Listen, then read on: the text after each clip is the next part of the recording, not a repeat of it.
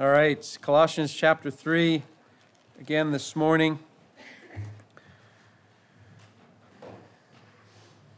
Colossians chapter 3, and if you have some of those nice um, ribbons in your Bible, you might want to put one in Ephesians chapter 5, because we'll be looking at a parallel passage there as well.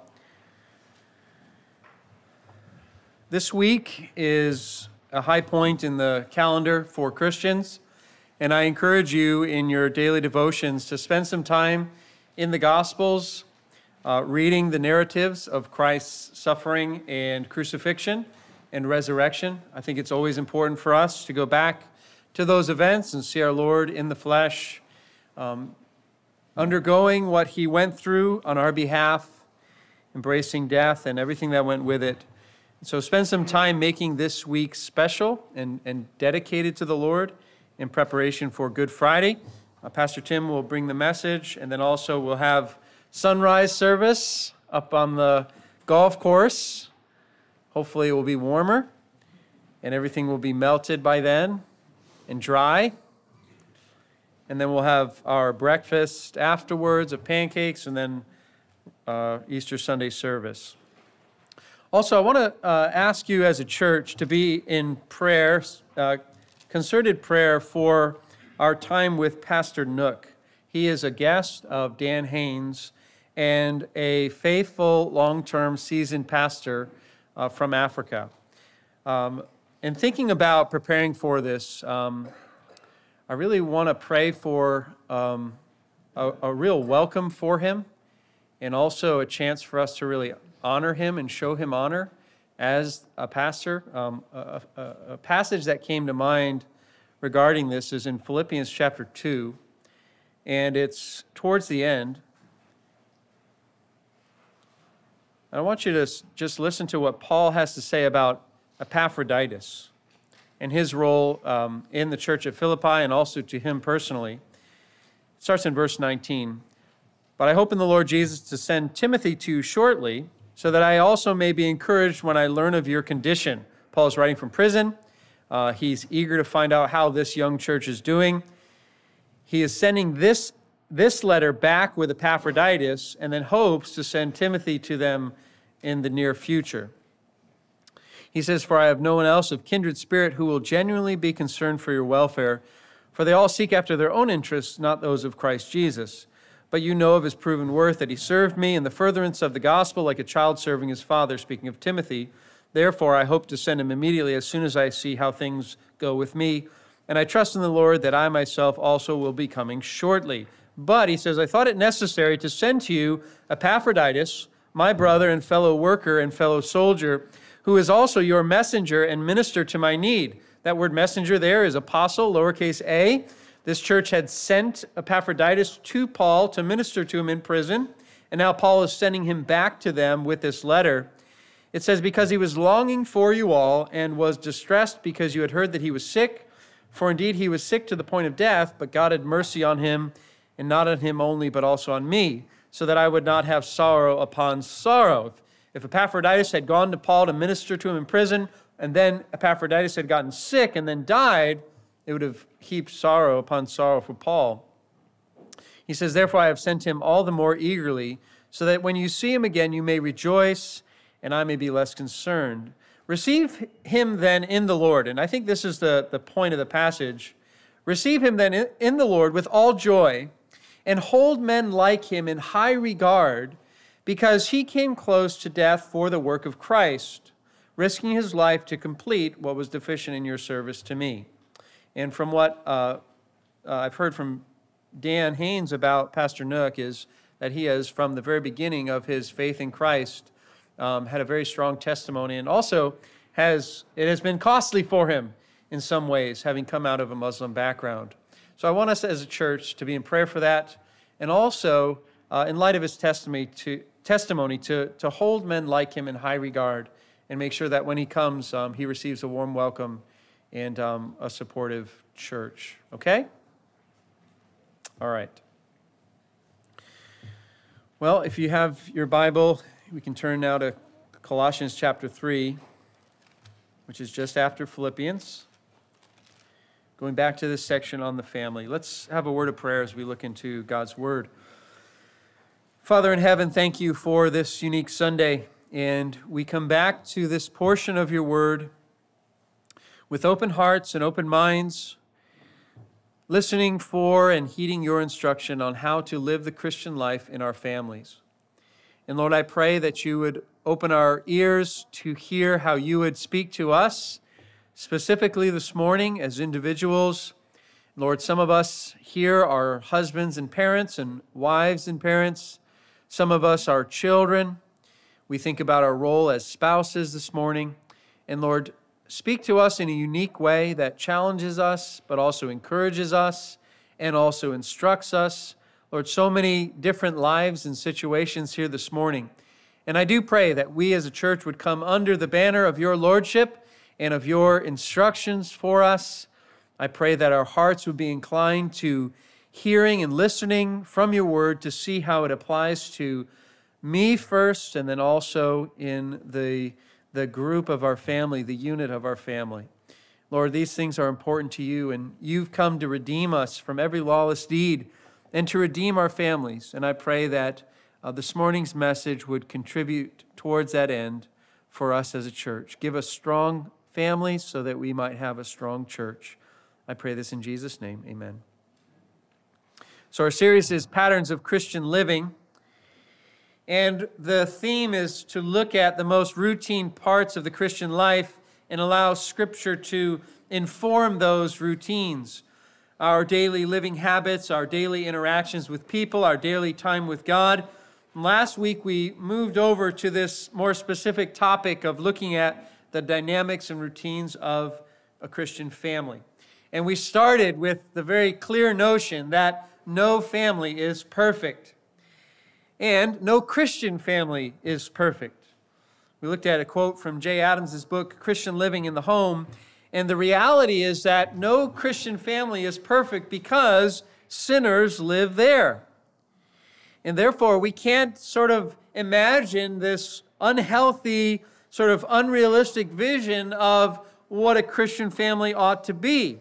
And sometimes you look at the own, your own problems in your own family, and you look at other Christian families, and you think they must be perfect, right?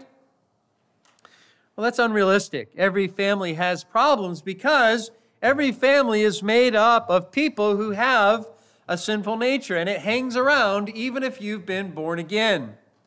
It's called the flesh. Instead, what we should pursue, instead of this unrealistic ideal of perfection and bliss, is this realistic idea of the need for Christ to redeem our families. We come as sinners, but believing in Christ means that He's transforming our lives for the better into his image, and he will and can do that in a family. Your family should be better day by day as each person submits their life to Christ. And the truth is, everyone has to do their part. This is so key. Everyone has to do their part. We say that to our kids when times are tough and calls for servant hearts. We say everyone has to do their part. And we can reason with them about this. We say things like, Do you like living in our home and in our family? And they say, Yes, we do. And we say, Okay, especially if there's a lot of work that needs to get done. And we say, Do you like the peace and fun that we have in our home? And they say, Yes. And we say, Well, everyone has to do their part for that to happen. The way you speak to one another, the way you forgive one another, the way that you kick in and work together when it's needed. Everyone has to do their part.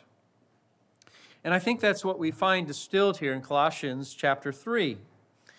The Apostle Paul's instructions here for families is for the family unit. These are timeless principles for Christians, and they can be isolated topics for looking specifically at how a wife should carry out her role in the Christian home or the functioning of a husband in his family, or how parenting should go in a Christian home. And then it carries on to servants and masters, or in today's world, employees and employers. But it comes here for the family as a unit. And the instructions are brief and they're clear. And so I conclude from that sort of style of what's written here that Paul is giving instructions for the family as a whole, as each person carries out their part in this redeemed blueprint that God has for families. Each person is to do their part as unto the Lord, which tells us that this is a blueprint and a pattern that is to work together, right? It's almost like mechanics. If you take your transmission out of your car, which was designed to work in concert with all the other parts of the car, if you take the transmission out, you have a large chunk of metal. It's no longer a car, it can no longer function. In a similar way, when each person does their part in a family, it works really well. And that's how God has given us and presented to us this instruction here. Last week we looked at the passage and considered it as a whole, and there were really some uh, foundational principles that I think needed to be said at the outset to avoid certain uh, dangers and, and, and sort of common pitfalls when it comes to this passage. And the first was do your part first. And the idea was that when it comes to family problems or family conflicts, one of the trends that I've seen is for a spouse, or it could be a child or a parent, to really emphasize and apply these instructions to everyone else around them first before applying it to themselves and their own role. And it's not that we can never use Scripture to show someone where they fall short. We should and we can. It's a matter of emphasis and also what we do first. The classic picture is of two spouses in conflict coming in for counseling, and really what they're bringing is a long list of accusations against the other person, and what they really want is for the pastor to get on their side, right? I'm coming to counseling because I got to persuade the pastor that I'm right and he's wrong, or I'm right and she's wrong, and then we'll see. It's the wrong approach to this passage. You got to do your part first. You got to look to your own sin. The primary way we should come to Scripture is to hear it and ask how it applies to me. There is a place for confronting someone else, even your spouse. There is a place, of course, for giving correction to your children. But first, we have to come humbly, teachably, open to Scripture's gaze into our lives to see how God would change us. And then we'll be in a right place to talk to someone else about their sin and failings. Jesus taught this in Matthew 7. Matthew 7, 1 through 5. Do not judge so that you be not judged. For with the judgment you pronounce, you will be judged, and with the measure you measure, it will be measured to you. Why do you see the speck that is in your brother's eye, but do not notice the log in your own eye? You hypocrite, first take the log out of your own eye, then you will see clearly to take the speck out of your brother's eye. And we can apply that in the context of marriage. Husbands, why do you look at the speck in your wife's eye? Why are you complaining about the meal when there's a log in your eye when you come home from work angry and frustrated? First, deal with the log. There's an order to this. Christ says, first do this, and then, then do that. First, self examination, humbly confessing before God, whatever it is, take the, the scrupulous judgment that you've aimed at your spouse or aimed at someone else and turn it and aim it towards your own life and character. That's first. Paul restates this same idea in Galatians 6 1 and 2.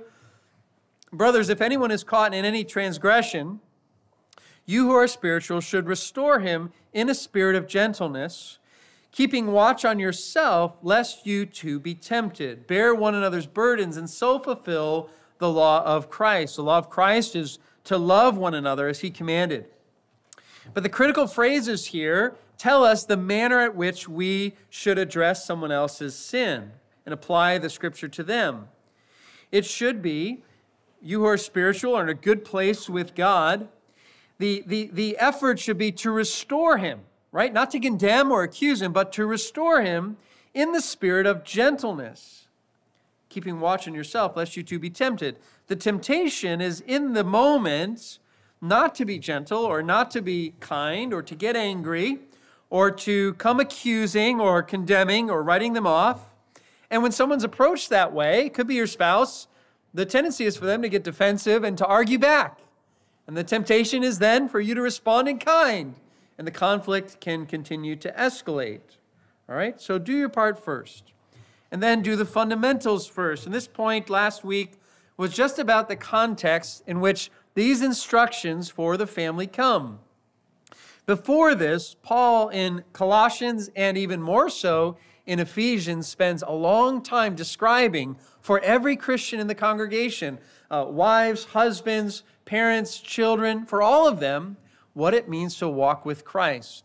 The, the, the picture that he paints in both contexts is that of putting off the former self and the deeds of the flesh and renewing your mind through God's truth and then putting on Christ and, and, and his attributes. And there's some very specific things. Notice in Colossians 3 how he ends that, that section in the preceding context.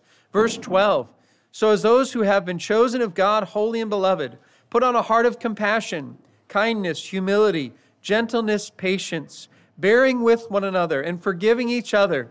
Whoever has a complaint against anyone, just as the Lord forgave you, so also, so also should you. And for our purposes, the, the idea here is apply that in your family. Children, apply that to your siblings. Husbands, apply that in, in relating to your wife. Wives to your husbands. Parents to children. Children to parents, right? If those things are undergirding your interactions as a family, things will go well.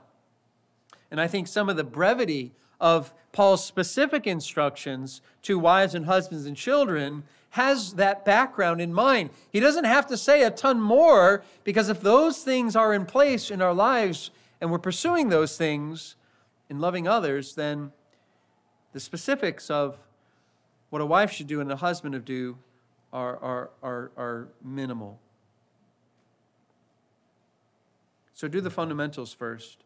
And the last principle last week was put the Lord Jesus first. We find in each of these commands to any Christian in any of these positions, and it could be a position of authority or under authority. It could be husbands and wives submitting to them, or children submitting to their parents in their parents' position of authority. It could be slaves in submitting to their masters, or masters in their position of authority. Regardless of the position or station, every one of those specific positions is to be motivated in their conduct with a desire to please the Lord. It is for the Lord. Christian employers in those days, Christian masters who had slaves or servants, they were to conduct their authority in a Christ like manner. Every part, every person infused and invested with Christ like character. This morning, we want to focus on the first two pairs here, and, and they do come in pairs. We have wives and husbands, and then children to parents, and then slaves to masters. The first pair here speaks to marriage. And there are two words of exhortation that Paul gives. Number one, a word to the wives, and then a second, a word to husbands. So we begin this morning with a word to the wives, and that is submit. Submit. The unique and specific command here for wives is submit to your husbands as is fitting in the Lord. Verse 18. This is a direct command to the Christian wives in the church. And this verb here, submit, is the Greek word hupotasso, and it means placing yourself under someone else, voluntarily placing yourself under someone's authority. And that means it comes with an attitude of humility and an attitude of cooperation with that person, a willingness to comply with their leadership direction. And this is the command to wives Wives, submit to your husbands as is fitting in the Lord. Few qualifications here. This is obviously a hot topic, a hot button topic in our culture and even in the church. And so, a few things. What Paul is not doing here is upholding and supporting the results of fallen humanity. All right? That's so important. Because it's often caricatured in the culture that the Bible is an archaic book and it supports and endorses abuse in the home. That's not what Paul's saying here. You realize that in the ancient Near East, uh, in the first century, Paul was surrounded by abuse in the home, specifically of women. And that is not the result of the Bible, that is a result of sin. There were specific functions in the very first creation of Adam and Eve before sin, and it involved Adam's leadership and Eve's being a suitable helper and support before sin. When sin came in, it ruined that. It took what was meant to be a loving, supportive, mutually beneficial structure for marriage, and it marred it, and it turned it into something ugly. And that's where we live. That's where Paul lived, right? What Paul is doing is not saying, yeah, that's how we should roll in the family. But also, he is not undoing that structure which was created in the beginning. There's a lot to say on that, but it's an important qualification. Paul is not upholding male chauvinism, abuse in the whole home, sinful domination of men over women, making women subservient to men. That's not what he's doing. But he is calling Christian wives, nevertheless, to submit to their husbands, to recognize that God has placed the, the, the, husband and the father to be the primary leader in the home. That is a God given position and your husband will be held accountable to God in that role. And your job is to humbly submit to him and also support and acknowledge that position. A couple other qualifiers. Paul is specific that this is in the context of marriage. So, this is not a command for all women to submit to all men everywhere. This is a command to wives to submit to their husbands. Also, this is not a statement on ontology. This is not about women being inferior to men ontologically, as far as their being goes, or their essence. This pertains to their particular function in the home. There is a uh, equivalent parallel to our understanding of the Trinity, right? We believe that God is one in essence and distinct in three persons one God, three persons within the Godhead Father, Son, and Holy Spirit. And the Son is equal to the Father in deity, in essence. But the Son is not the Father. And being the Son, he has always positioned himself in submission to the Father's will. And we see that very clearly in his incarnation. The Father did not become man. But the Son became man and embraced full humanity in submission to his Father's will. And it was glad, joyful submission. The same goes for his sinless life and his full obedience to the Father, and then his death on the cross. And this does not mean that Christ, the Son of God, is inferior to the Father in his being. He's not. He is equal as God. It's similar in the context of marriage, that functionally, Wives are to follow their husband's leadership. They are not equal and, or symmetrical in that function. There is an asymmetry there, and that asymmetry is complementary. You might find that in general, when men work together with other men, it is often combative and there's a clash. Just try working with your father on a project at home. Right? There are great pains and effort and enthusiasm put towards having men submit to other men in the army, right? And you might find that oftentimes women are more naturally inclined to be very supportive and cooperative and complementary in bringing their strengths to fill in the gaps with men's weakness. That's how God intended it to be complementary. So, this is not about the inferiority of women, but it is about a kind of blueprint and pattern that God has made for the home functionally.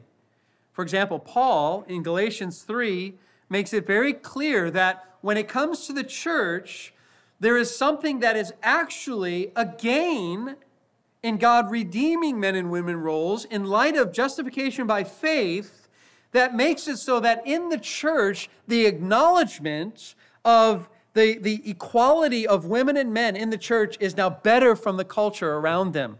Galatians 3:26, "For you are all sons of God through faith in Christ Jesus, for all of you who were baptized into Christ have clothed yourselves with Christ." And he's talking about them all being justified by faith apart from the works of the law, and so that they have a right standing with God and have become children of Abraham and recipients of the covenant by faith in Christ. Here are the, the sort of sociological results. He says there is neither Jew nor Greek. So ethnic distinctions that before this had come to bear in Jew Gentile relations are abolished now. There is neither Jew nor Greek in light of justification by faith. There is neither slave nor free, right? So no caste systems in the church. There is neither male nor female, for you are all one in Christ Jesus. Now, Paul is not abolishing gender distinctions there. But what he is saying is that in light of full justification by faith, there is no more need for distinction of status based upon gender in the church. Think the court of women in the temple. At the temple represented proximity towards God. And there was a court for women to gather and pray in the temple, but it was not as close as for men. Not, not anymore in the church. Women have full access to God to boldly approach his throne because they have been justified by faith just as much as men. So, ontologically, in essence, they are equal, but not in function in the home. Another qualifier this is not to be applied to your boyfriend. If your boyfriend is not your husband, you don't need to submit to him. If your boyfriend is asking you to submit to him, that's a red flag. Nor Another qualifier that this command to submit is also not just for wives in the church. Christians get this command across the board. Turn with me, if you will, to Ephesians chapter 5. And this kind of colors colors this command to wives, but it also colors the husband's role in the church. Again, in Ephesians 5, we're in the broader context of Christian living that leads into the more specific commands for the home. Look at verse 15. We'll go to 15 to 21. Therefore, be careful how you walk, not as unwise men, but as wise, making the most of the time because the days are evil. So then, do not be foolish, but understand what the will of the Lord is, and do not get drunk with wine, for that is dissipation, but be filled with the Spirit be controlled and directed by the Spirit, the Holy Spirit. Now he has three, uh, three linking verbs that go along from that. They're, they're, they're participles in the Greek, and they relate to this main command be filled with the Spirit, and they demonstrate how this follows through in Christian living, being filled with the Spirit. Number one, verse 19, speaking to one another in psalms and hymns, spiritual songs, singing and making melody with your heart to the Lord. So, being filled with the Spirit overflows in that way that we speak to one another and also sing privately to ourselves and to one another about the truths of God. Number uh, verse 20. Also, always giving thanks for all things in the name of our Lord Jesus Christ to God, even the Father. And verse 21, and being subject to one another in the fear of Christ. That's our verb to submit. So there is a sense, a very clear sense, in which spirit filled attitudes of every believer is to submit to one another mutually, to be ready to respond to another believer in helping them and doing what they ask. In small things, big things, right? That's part of walking in the Spirit, being filled with the Spirit, right? And so Christians across the board are called to submit. And then Paul goes in in the next verse Wives, submit to your own husbands. This is a specific example. I want you to see how this truth is also played out in 1 Peter 2. All right, 1 Peter 2. We've talked about this principle in this passage before, so I won't spend too much time here. The theme of this section in Peter's letter, which is a letter given to a variety of churches to, to be circulated throughout the Roman Empire, He talks here about submitting as Christians to various authorities in our lives, and even specifically submitting when it involves being mistreated by those authorities. The first one he talks about is the government, verse 13. Submit yourselves for the Lord's sake to every human institution, whether to a king as one in authority, or to governors as sent by him for the punishment of evildoers and the praise of those who do right. For such is the will of God that by doing right you may silence the fool- ignorance of foolish men. And so, the first aspect for all Christians is submit to the governing authorities.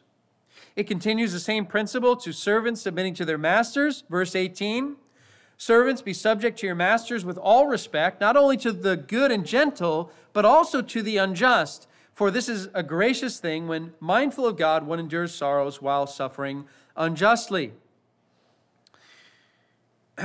the same concept he addresses to wives in chapter 3, verse 1. Likewise, wives, be subject to your own husbands, so that even if some do not obey the word, they may be won without a word by the conduct of their wives when they see your respectful and pure conduct. And then, even to husbands, look at verse 7 of chapter 3. Likewise, he says. So, this same theme of submitting to authority and then even submitting when being treated unjustly there is a kind of way that a husband submits to his wife, not to relinquish his position of leadership, that doesn't happen, not to know he's responsible for leading his family spiritually, for making wise decisions ultimately, but in the manner that, that he, he relates to his wife. Live with your wives in an understanding way, showing honor to the woman as the weaker vessel, since they are heirs with you of the grace of life. See, show honor to your wife. Live with your wives in an understanding way. Understand as much as you can about her, show her honor, respect her, lift her up, because she is heirs with you of the grace of life. Christ died for your wife. She has an internal, eternal inheritance like you because of Christ. This should change and, and, and, and inform the manner at which you live as a husband. All right? Ultimately, this broader theme of living in submission to authority is following Christ's example. And that's the fourth principle and qualification for wives. Is that in part, when you submit to your husband, you are following Christ's example. Look at the heart of this passage in um, verse 21, 1 Peter 2 21. For to this you have been called, because Christ also suffered for you, leaving you an example, so that you might follow in his steps. He committed no sin, neither was deceit found in his mouth. When he was reviled, he did not revile in return. When he suffered, he did not threaten, but continued entrusting himself to him who judges justly. Now, this tells me a couple things that are practical for this, um, this point. Peter adds a layer of uh, specification here that it's not just about submission, but submitting when it's hard, submitting when we're mistreated by those in authority over us. And that's why it puts Christ and his suffering here as our example. And it tells me two things. Number one, that when it comes to submitting to authority, we cannot excuse ourselves from submitting to God given authority, even if, for whatever reason, we have rendered and determined that that person is not worthy of our respect of their position. We can't do that. The government in place at this time, Peter writes, is Rome, and the emperor is Nero. Okay? We can't say, I'm not submitting to or praying to our president because don't you know what he believes? That doesn't qualify. That's not Christian to do that. You can't say as a wife, yeah, I would submit to my husband, but he's a terrible spiritual leader, so I'm not doing it. That doesn't work. Peter makes that specific here in chapter 3, verse 1. Be submissive to your own husband so that even if any of them are disobedient to the word, they may be won without a word by the behavior of their wives as they observe your chaste and respectful behavior. We can't excuse ourselves from submitting to authority just because we don't like it. And it can be extremely subjective, right? All they have to do is tell us something we don't want to hear. and then we find a reason why they're no longer in a position of authority or that their authority is valid anymore. It can be very subjective. And that's not, that's not what Peter's calling for here. That's not humble, it's not submissive. Notice the key for Christ's submission while he was being treated unjustly. This is so key. At the end of verse 23, it says, He continued entrusting himself to him who judges justly. That is so key. When you find yourself in a position under someone's authority and you know that God has called you submit to that authority and they're difficult to deal with, the key is that I trust and submit to God and trust that He's put me in this position and I can trust their and submit to their authority. I'll give you a silly illustration just to lighten the mood here. when I went to seminary, we had to wear ties. And I just thought that was the most arbitrary rule there was. And I, I totally wanted to rebel against it. I wanted to like wear it around my head, you know, just to push against it a little bit. But I realized, you know, there's a reason for this. And if God has brought me to this seminary, I believed He had, and if they're in charge of rules, including wearing a tie, then I'm going to find a God honoring reason to wear my tie in submitting to that authority. And I did. I just thought, well, I'll, as I tighten this around my neck, I feel like it's kind of a, a weight. And, and this is going to remind me that I have an obligation to, to, to work hard while I'm here because of the responsibility to teach God's word. And I put that thing on every day, and it was fine. I got over it. It was fine. I submitted to the authority, even though I didn't, wouldn't necessarily make the rule myself, but it had a reason. And I said, okay, Lord, if this is what you've placed me under, then uh, no problem. I can do this. And in that small example, I'm, I'm really submitting to their authority because I'm submitting to God's sovereignty in the position that He has placed me. Now, of course, there's, there's a qualification there. If someone in authority is commanding you to disobey and sin against God, obey God rather than men, right? We all know that. Live free or die. We all know it in New Hampshire. If your husband tells you to sin, disobey him, of course. But otherwise, an attitude of submission. And you're not alone. You're not alone because Christians across the board are called to submit to some authority in their life.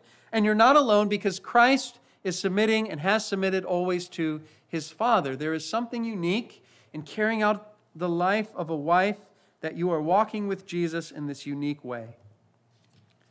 Two remaining details from Ephesians 5 and Colossians 3. First, a comparison. Notice in Ephesians 5, you turn back there, 22, Paul says, Wives, be subject to your own husbands as to the Lord. As to the Lord. So, for guidance on this, Paul gives us a comparison. And that is, it's analogous to the church's submission to Christ. Wives, be subject to your own husbands as to the Lord. And the idea is, as you do to the Lord. For the husband is the head of the wife, as Christ also is the head of the church, he himself being the Savior of the body.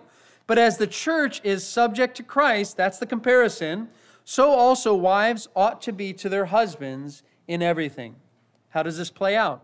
Well, for the church, we're the model, right? We, because of the cross and his great love for us, we've given our allegiance to him and our love for him in response, and we trust him and we, we come to him with teachable spirits and a heart that says, your will be done. And Lord, lead me and I will follow. And we desire to serve the Lord and his mission in the world. And so Christian wives make Christ first in their hearts. They submit themselves to the Lord, but then also specifically in their role in marriage and ministry, really, in marriage as a wife, it is to be to submit to their husbands in a similar way. And this is really to be the default mode. Notice that Paul says, so wives ought to, um, to be to their own husbands, and then he says, in everything at the end of the verse. That's a lot. And I think with the rest of Scripture in mind, we, we know that there, are, there is an exception for not sinning, right? Or not following them into idolatry or something like that, right? But the idea is that this is the default mode. that in everything, that in major discussions and major decisions or disagreements or really getting behind and supporting your husband as a suitable helper, that this is the overall default mode in marriage. And the comparison is there as the church submits to Christ. Another um, detail here, back in Colossians 3, verse 18 again Wives, be subject to your husbands as is fitting in the Lord. Now, this is different than what Paul says in Ephesians 5. It's not a comparison with the church here, it's another added nuance. And the key word there is fitting, and it means as is proper. And I think what Paul means is as it is proper for you who are in the Lord. Wives, submit to your husbands as is fitting, you being in the Lord. Being in the Lord is one of Paul's favorite all encompassing phrases to describe the essential status of a Christian. That is, by faith, we've been united to Christ and are in Christ. He says it all over his letters. And so, wives, being in Christ, then, it is proper and fitting for a Christian woman in her ministry as a wife in marriage to be submissive to her husband. And this is in contrast to other kinds of attitudes being brazen or contentious or downright rebellious or very strong willed or overly opinionated or taking it upon yourself as the one to call the final shots or if you don't get your way as a wife, then you throw a ty- go into a tirade or, or silent treatment, right? And it makes life miserable in your home. We had a saying in, in, in my extended family um, if mama's not happy, ain't nobody happy, okay? Proverbs talks about this in somewhat humorous ways. It is better to live in a corner of the housetop than in a house shared with a quarrelsome wife. Proverbs 21 9. Proverbs 21 19. It is better to live in a desert than with a quarrelsome and fretful woman. Proverbs 25 24. It is better to live in a corner of the housetop than in a house shared with a quarrelsome wife. Proverbs 19 13. A foolish son is a destruction to his father, and the, contentious, the contentions of a wife are a constant dripping. Proverbs 27 15. A continual dripping on a rainy day and a quarrelsome wife are alike. Several times there in Proverbs it points to this. And I think that's what Paul has in mind when he says, Submit to your husbands as is fitting in the Lord. It's a token of godliness to live and conduct yourself as a wife in the home in this way. Now, again, sinners live there, right? Sinners live there. And one of the essential features of the sinful nature, both for men and women, is rebellion. we rebel against authorities. That is our default mode, which is why in 1 Peter 2, it's so important for Christians to not do that. But it does show up in the context of a marriage, and Paul is calling Christian wives away from that. And so part of living out this new life in Christ as a Christian woman as a wife in a marriage is again a putting off of the old self and the inclinations of the flesh, which will come out in those kinds of things, in the way you relate to your husband and speak to your husband, and your attitudes, and how you work through uh, conflict or disagreements. The flesh will come out in those things, but rather put on, putting on Christ as a Christian wife, it is then fitting and appropriate in Christ that your ministry to your family is marked by humility, kindness, support, being cooperative, and submissive to your husband. Now, listen, this is, this is somewhat of a, of, a, of a near and dear subject for me. Not because I want my wife to do this well. the way I think about this is long before there were any mega churches out there to sort of stun and entertain the masses of Christians with superficiality. Long before that was ever a dominant trend in evangelicalism, there was the wonder of stalwart, brave, God loving women in the home. And they raised children who became preachers and missionaries who revolutionized the world. We read about them in 1 Timothy. Mother Eunice and your grandmother Lois, who taught you the scriptures. We hear about Jonathan Edwards' mother and how much she prayed and how devout she was in light of how many kids she had, right? There is a power to godly women in the home, and it is, it is way more profound than the superficialities we're stunned with today. This is what Peter means when he says in 1 Peter 3 Women, do not let your adorning be external, the braiding of hair and the putting on of gold jewelry or the clothing you wear, but let your adorning be the hidden person of the heart, with the imperishable beauty of a gentle and quiet spirit, which in God's sight is very precious. For this is how the holy women who hoped in God used to adorn themselves by submitting to their own husbands, as Sarah obeyed Abraham, calling him Lord. I think a better translation might be Sir and you are her children if you do good and do not fear anything that is frightening. There's this, there's this timeless beauty to the character that Paul is calling for here for Christian wives. And that's what it means to, to follow Christ in that specific role. Ultimately, it's submitting to Christ, but then also carrying this out and submitting to your husband. So much more to say on that. If you are interested in knowing what I mean about all kinds of attending questions and implications there. A couple books The Fulfilled Family God's Design for Your Home by John MacArthur. And then also a very, very thorough book called Recovering Biblical Manhood and Womanhood, edited by John Piper and Wayne Grudem. All right. A word to husbands, number two. And I think we'll cut this short this morning because there's more I'd like to say to husbands. Right? We said a lot to the wives, right? I don't want you to think that I'm letting the husbands off, uh, getting, uh, getting them off the hook too easy. Verse 19 Husbands, love your wives and do not be harsh with them. Or in the New American Standard, husbands, love your wives and do not be embittered against them. The key term here, harsh or bitter, can be used literally for undrinkable water or for a sour or upset stomach. And here I think it describes an attitude of anger or prolonged bitterness or a grudge bearing inclination or resentment that overflows into harsh treatment of your wives.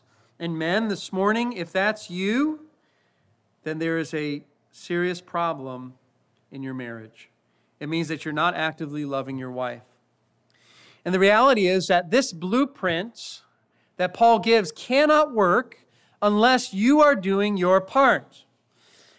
And even if necessary, leading in living out this pattern. I think it's important for us to realize how much of a struggle it puts on our wife when we are harsh and unloving to them. I mean, think about it. What is her response going to be inclined to be? That she is lovingly submissive and supportive? If you're harsh and unloving towards her? No. She's going to be tempted to be harsh and unloving back, right? It's a temptation there. Especially if it's sustained. And if you've been married long enough, maybe you know what this is like, right? You get into a conflict, there's no forgiveness, it leads to bitterness and resentment and grudge bearing. And soon, almost all of your conversations are tailored that way, right? There's just this atmosphere of contention in the home. Hus- husbands, if that's the status in your home this morning, let me place the responsibility and burden on you to stop, right? You've got to love your wife. And Paul says here, not be harsh with them. I remember in this unforgettable sermon that Pastor Voddie Baucham preached at a shepherd's conference out in Los Angeles while I was in seminary. He gave an illustration of a husband coming to him for counsel. And this man came to him and said, Pastor, it is so bad in my home. You don't understand how this woman treats me. Everything has changed since we first were married. She insults me in front of our friends. She constantly points out my faults. She doesn't respect me at all. And Pastor Voddie Baucham said, Well, hold on a second, brother. God commands you in Ephesians 5 and Colossians 3 Husbands, love your wives as Christ loved the church. The man backed up a bit and responded, Well, I don't think she should even count as my wife anymore. We are like two strangers living under the same roof. You don't understand what it's like. And he interrupted him and said, Hold on a second. God said to us that the second greatest commandment was to love your neighbor as yourself. She's your closest neighbor, so love your wife. He said, You know, I don't think you're getting it, Pastor. You don't understand. There is not a moment's peace in our house. I mean, she is constantly stirring up arguments. Anytime she speaks to me, it just leads to, to yelling and screaming. It's like living with an enemy in my own home. And the pastor said, Wait a second. Jesus commanded us, but I say to you, love your enemies. You need to love your wife. And his point was look, there is no excuse that you have as a husband not to love your wife. So love your wife, was his counsel. And this gets back to that first of three principles from last week. The first was do your part first. And I think this applies particularly and directly to husbands. The analogy for us, the comparison for us in Ephesians 5 is that we love our wives. Verse 25, husbands, Love your wives as Christ loved the church and gave himself up for her. And we can ask the question very simply how did Christ start loving the church, and when did Christ start loving the church? When did he initiate his love for the church? The answer is in Ephesians 1 before the foundation of the world. Ephesians 1 3 Blessed be the God and Father of our Lord Jesus Christ, who has blessed us with every spiritual blessings in the heavenly places, just as he chose us before him, uh, in him before the foundation of the world, that we would be holy and blameless before him. In love, he predestined us for adoption to himself as sons. God in Trinity, Father and Son, from all eternity past, determined to display his great love for the church through the cross. That was the plan. It was to magnify how great his love was for his bride. And it was not because of how lovely his bride was. Even while we were yet sinners, Christ died for us. There is an initiating kind of love that Christ has for the church while we were sinners, not because we were so lovely, but because of how loving he is. And Christian husbands are called to do the same. Don't wait for your wife. There's problems in your marriage, you start loving her. Do your part first. Do the fundamentals. Colossians 3 Keep seeking the things above, husbands. Set your mind on things above, husbands. Consider the members of your earthly body as dead to the works of the flesh, husbands Put these things all aside, husbands. Put that off. But put this on. Verse 12 compassionate hearts, kindness, humility, meekness, patience, bearing with your wife in love. If you have a complaint against your wife, forgiving your wife.